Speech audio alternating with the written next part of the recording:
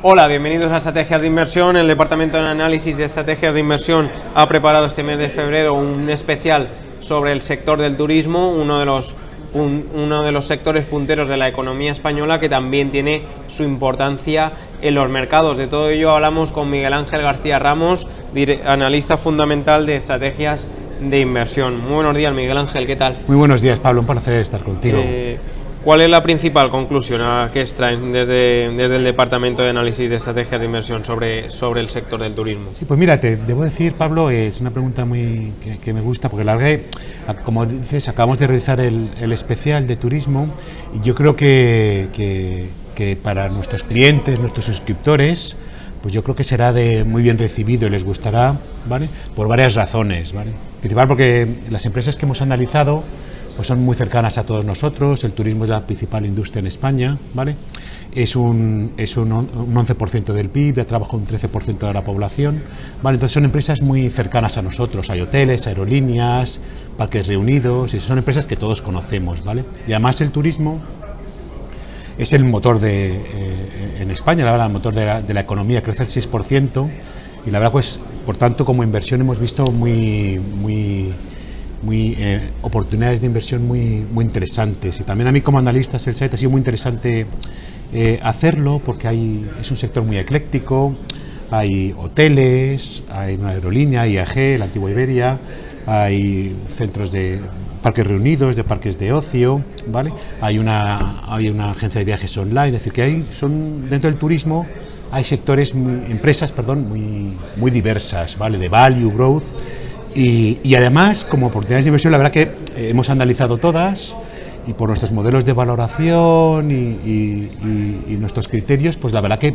todas las que hemos analizado nos dan con recomendación positiva. Entonces, eh, pues todas por distintas razones, pero todas pensamos que puede ser una buena oportunidad de inversión, Pablo. Hmm. Hablan de diferentes compañías como AENA, eDream, SIA, Gemelia, Hoteles, NH y Parques Reunidos. Eh, ¿cuál cree que es la que mejor aspecto tiene en este momento actual? Bueno, pues por hay eh, hay eh, distintos tipos de, de, empresas, como te decía, todas nos daban con, recomendación positiva, unas por fundamentales y algunas, algunas que tienen pues un carácter especulativo por posibles ser posibles OPAs, hay, hay, movimientos en el accionariado, pues hay, hay hay, hay buenas oportunidades, la verdad. Por ejemplo, yo te puedo comentar de una es NH eh, Hoteles, ¿vale? Es, por fundamentales es muy interesante, ¿vale? Crece al 7% en facturación, ¿vale?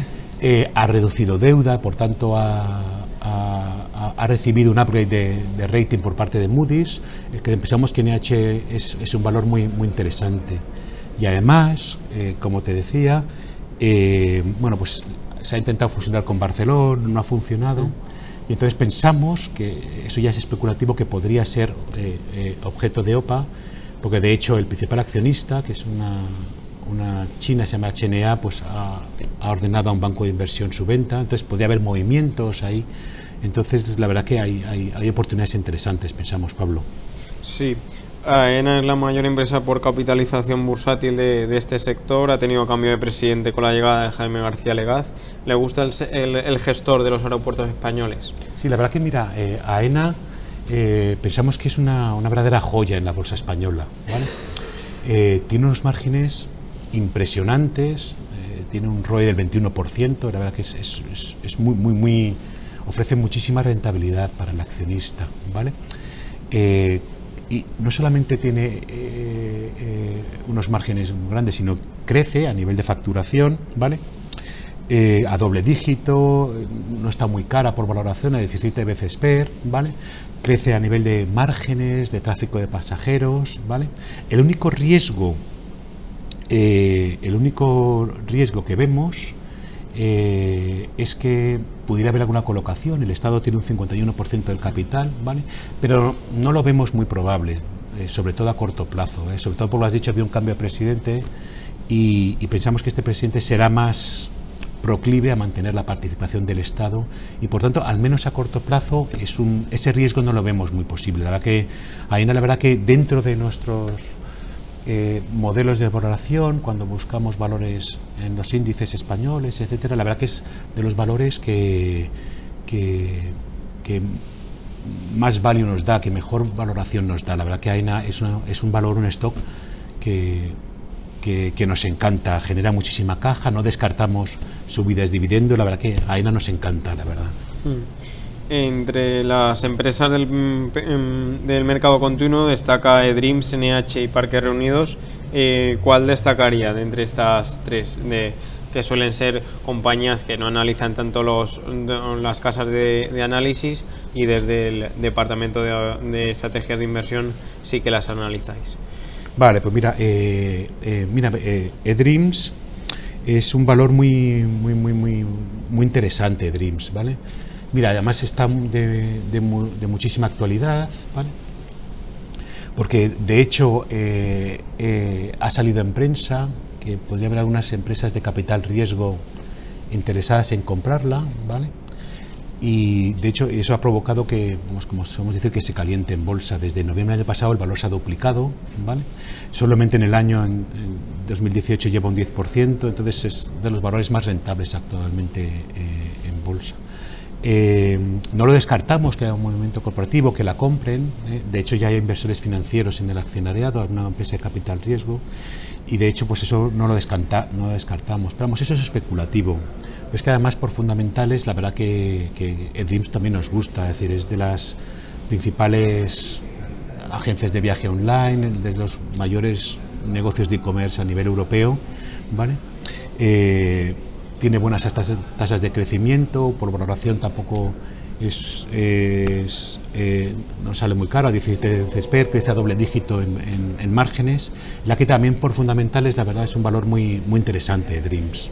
Mm. Y ya por último, eh, destaca este grupo de empresas por algún punto determinado como el endeudamiento o, un PER bajo, o sea, alguna conclusión final que quiera destacar. Bueno, es decir,